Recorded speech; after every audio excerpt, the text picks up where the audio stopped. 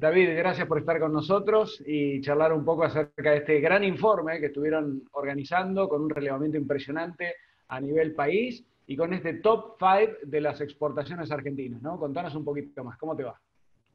Muy bien, un gusto estar conversando con vos. Eh, bueno, desde FADA presentamos el monitor de exportaciones eh, agroindustriales que del primer semestre del 2020 es un nuevo informe que vamos a hacer que vamos a publicar cada seis meses, reportando lo que pasó en el semestre anterior.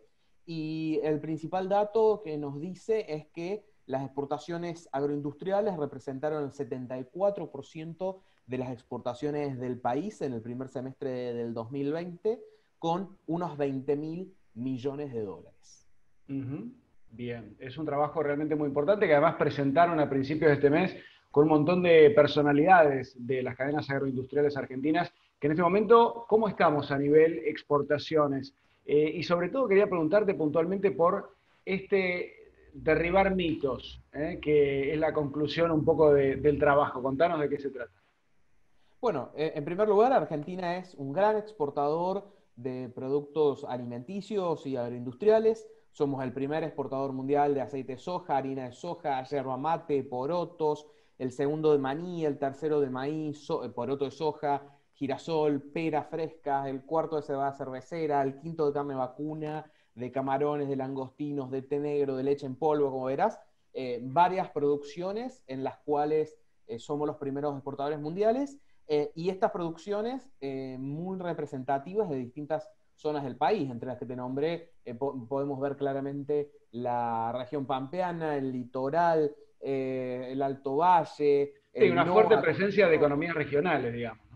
Exactamente, las economías regionales con fuerte presencia en las exportaciones y en general te diría que es una de las características del sector eh, agropecuario en general, que eh, uno de sus principales aportes al país es justamente la generación de actividad económica y de empleo de manera federal, ya que está presente en buena parte de, los, de, las distintas regiones del país.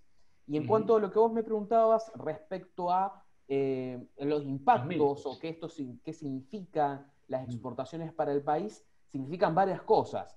Eh, en, lo cotidiano, en la diaria de, de vos, eh, de yo, mía, digamos, y, de cualquier otra persona, en primer lugar necesitamos dólares para usar muchas de las cosas que usamos a diario. Por ejemplo, la computadora con la que yo estoy hablando en este momento con vos, seguramente que la tuya también, eh, son importadas. Entonces se necesitan dólares para pagar eso. Estamos usando un sistema de conexión que también tiene un fee mensual, que también es en dólares.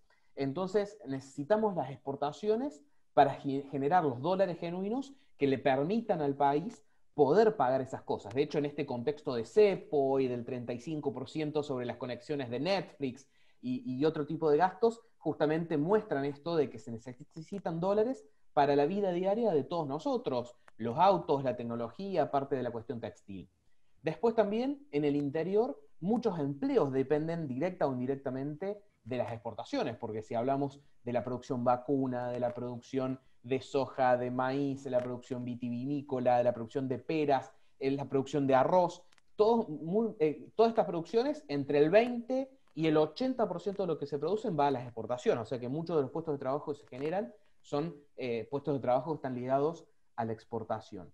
Y después también el disponer de dólares, eh, y es algo que hemos visto de primera mano en los últimos tres años, desde 2018 en adelante, y a lo largo de toda la historia argentina, también ayuda a evitar crisis, porque parte de las crisis argentinas eh, suceden porque el país se queda sin dólares, muchas veces porque imprime demasiados pesos en realidad, pero eh, el hecho de disponer dólares ayuda a evitar devaluaciones, ayuda a evitar endeudamiento que después genere algunos problemas. Así que en esos sentidos es también como las exportaciones nos ayudan en el día a día de todos nosotros.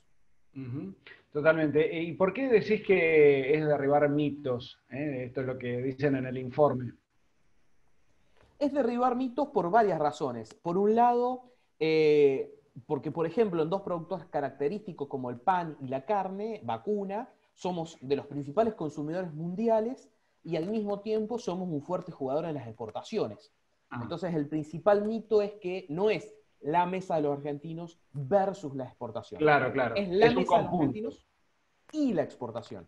De hecho, yo lo que te comentaba recién, eh, se ve también claramente, por poder exportar, en el país evitamos o ayudamos a, que se generen menos devaluaciones y menos crisis bruscas que terminan eh, yendo en contra del poder adquisitivo de la gente, que va en contra de las mesas argentinos. Entonces, uno de los primeros mitos es ese, no es versus, sino es y, la el consumo interno y la exportación. Eh, Ahora, eh, David, realmente, bueno, este es uno de los motores, digamos, realmente, literalmente de la Argentina, porque es lo que está permitiendo el ingreso de dólares genuinos, ¿no? Prácticamente el único complejo agroindustrial, el, el, del campo. Ahora, ¿qué está pasando con la percepción de los productores? Porque evidentemente de los 140 pesos que vale un dólar está recibiendo 52. ¿Cómo estamos con ese tema? Bueno, claramente, al igual te diré que cualquier productor o empresario de cualquier sector de la economía eh, todo el ruido macroeconómico eh, claramente genera algún ruido eh, e, e, en el propio proceso de producción, obviamente.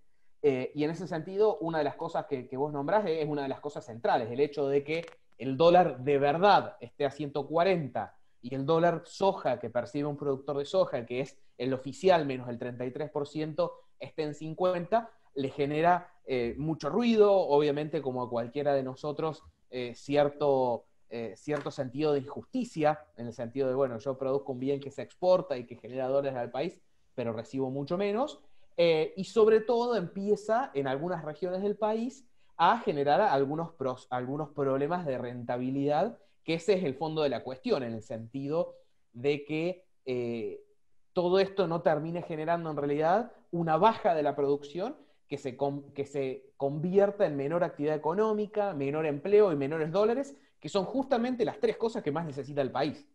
¿Cómo lo ven eh, ustedes? ¿Es posible que suceda una cosa similar? Veníamos, te diría, hasta hace un mes con números bastante complejos en varias regiones, para maíz, para trigo. Cuando hablamos de varias regiones, nos referimos principalmente hacia el norte del país, donde empiezan a impactar las, eh, los mayores fletes, los menores rindes hacia el oeste del país veníamos con algunas, eh, algunos números complicados. Por suerte, en el último mes hemos tenido muy buenas noticias de precios, en especial soja, que hicieron que muchos de esos temores se reduzcan un poco.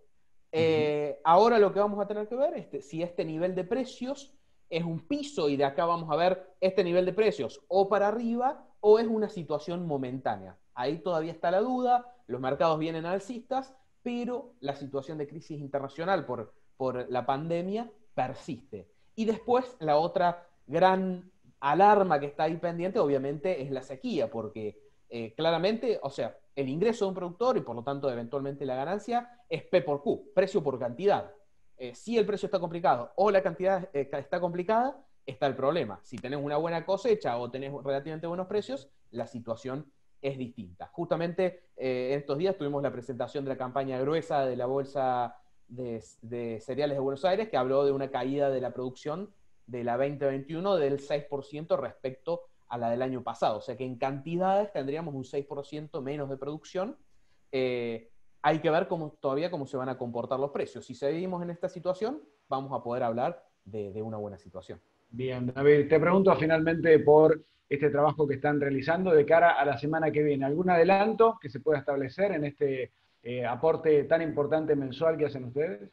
Bueno, lo que nosotros publicamos es el informe de la participación de la del Estado en la renta agrícola, que básicamente vemos cuánto significan de la renta los impuestos. Eh, y los primeros datos que, nos están dando, que lo vamos a publicar la semana que viene, es que bajaría la participación del Estado en la renta agrícola, no por baja de los impuestos, pero por esta mejora que estábamos justamente conversando los precios, haría bajar esa presión, principalmente porque cuando se incrementan los precios, se agranda la torta, entonces la porción relativa que se lleva el Estado cae un poco, así que es una excelente noticia por ese lado. Bien, bueno, ya lo estamos adelantando entonces a través de nuestro noticiero y las redes sociales, ¿eh? de lo que va a suceder el índice FADA a partir de la semana que viene. David, muchísimas gracias, ¿eh? muy amable. Un gusto conversar con vos como siempre. Hasta luego.